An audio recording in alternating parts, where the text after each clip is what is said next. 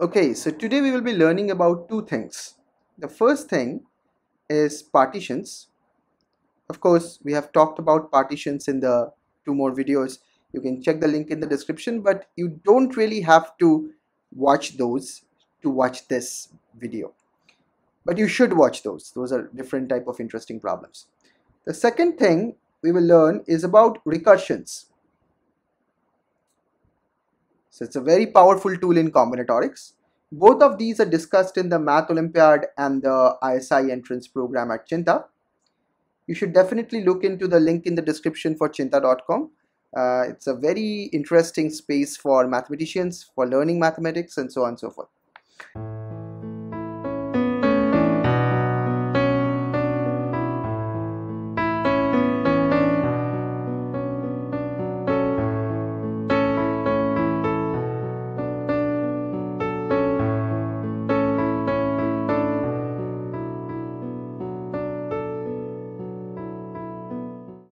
Okay, so what is this problem all about? It is Sn plus 1k is equal to Snk minus 1 plus k times Snk. What are these symbols even mean? So we will look at this one, the first one. It's very simple. What is the meaning of Sn plus 1k? It's quite simple. You have n objects, let's call them n plus 1 objects, let's call them n plus 1 numbers, different numbers and then we have k bags. K bags they are not different. Then bags are not different. So you cannot differentiate uh, from one bag to another. And you want to put those n plus 1 objects into these k bags. How many ways can you do it?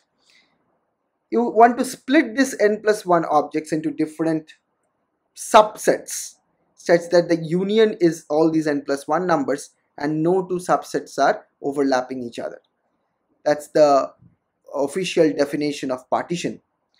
So the number of ways of doing that is Sn plus 1k. That's the symbol for that particular number.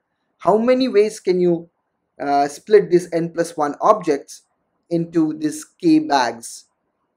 Answer is, okay, I cannot find the answer. I can find a symbol for it for the moment, a placeholder and that symbol is Sn plus 1k. That's something that mathematicians do all the time. If they cannot find something, they put a symbol for it and then try to find the value of that symbol. Okay, so it's very hard to find out an actual formula for Sn plus 1k. But there is a recursive way of thinking about it. So what is the meaning of recursion? Recursion means you talk about the n plus 1th step using the previous knowledge that you already have. Maybe the nth case, the n, minus 1th case and so on. It's not ideal because then you have to go to the nth case and n minus 1th case and then use that to find the n plus 1th case. Maybe that is a little bit hard than a direct formula, but it's still something. So we often use recursions in combinatorics and other parts of mathematics. Recursions also show interesting connections between the next case with the previous cases. So it is also of that interest. Okay. So I'll show you why this recursive formula works. There are n plus 1 objects and you are splitting them into k bags. How is that related to splitting n objects into k minus 1 bags and n objects with k bags? Splitting them into k bags. And what is this k doing here? Okay. It's very, very simple yet elegant, this part of mathematics. And what is it? So you have n plus 1 objects. n plus 1 objects. Let's call them 1, 2, 3, 4 up to n plus 1. Okay. So we have these n plus 1 objects and we want them to want to put them into k bags. We want to put them into k bags. That's what sn plus 1k is. That's what it's all about. So how do we do it? Now let's focus on this n plus 1th object.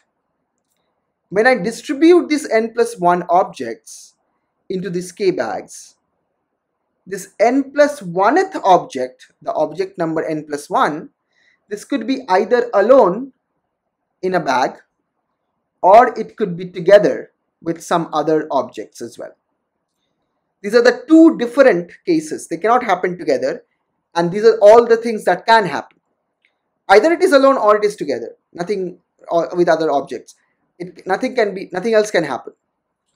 So these two cases in the recursion, these two cases, they will correspond to these subjective description that I just gave you.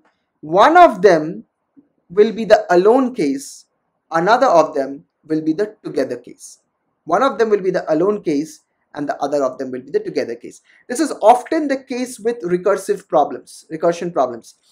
If you see a bunch of things plus plus plus something like that, one expression is equal to something plus something plus something plus something. Now you have to think of it like this, that one expression on the left, that's the total number of cases.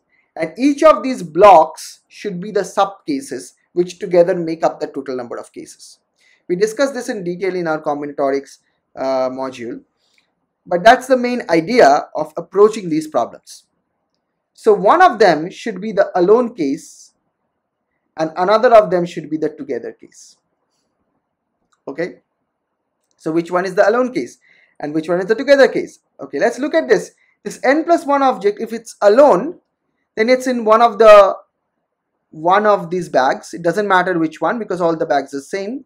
Bags are not distinct until we put things in them. So suppose I put that into one bag, I leave that bag and that n plus 1 object alone. All I need to do is to distribute this n objects into the remaining k minus 1 bags. Distribute the remaining k n objects in the remaining k minus 1 bags. And I know exactly how to do it, how many ways to do it. That's precisely what Sn k minus 1 is. Distribute n objects into this k minus 1 bags. So you are done with the alone case. This is the alone case. Now then this must be the together case. This must be the together case. Okay, of course it is. Let's forget about the n plus 1th object for the moment. Let's focus on the remaining n objects. So we want to put this remaining n objects into the k bags. Into the k bags. And then we will throw that remaining n plus 1 object into one of those k bags.